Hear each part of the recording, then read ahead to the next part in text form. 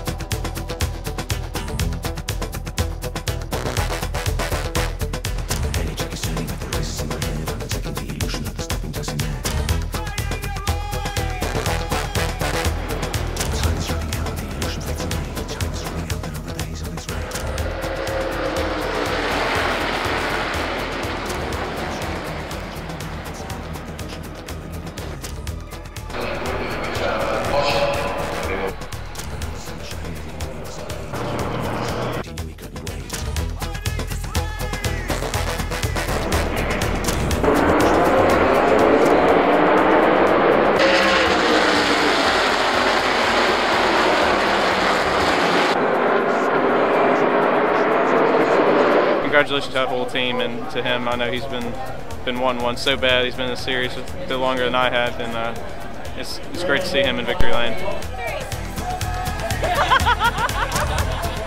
I'm Ryan Gifford, and I just won at Richmond.